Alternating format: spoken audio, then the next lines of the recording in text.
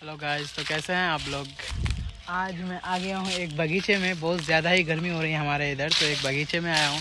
और इधर खेत भी है और मतलब व्यूज़ बहुत अच्छा है खूबसूरत बहुत ज़्यादा ही लगता है।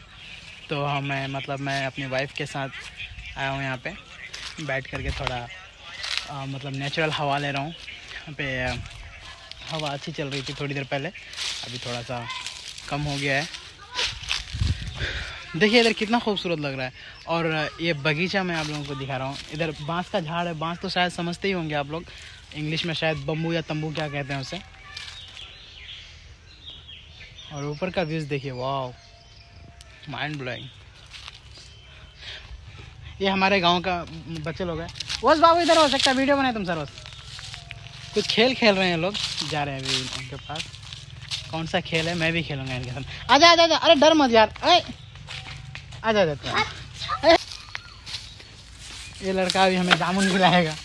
बस भाई बस बस। अरे डर मत यार वीडियो वीडियो जो बहुत अच्छा तुम्हारा मतलब ये करे बस बस दी। अच्छा की खिला सुला रहे खिलाइस की?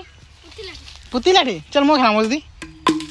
चल जो जो, जो हार में वक्त पता मी मुँह खिलवा जानी पक्का को जगह गाय हाँ कसम से। गाय पुती लाठी समझते हो हमारे भाषा में कहते हैं पुती लाठी जो हिंदी में शायद गिली डंडा कहते हैं उसे।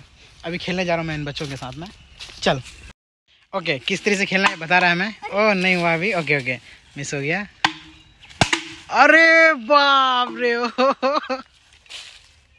अच्छा इसी तरीके से मैं भी मारता हूँ अभी रुक।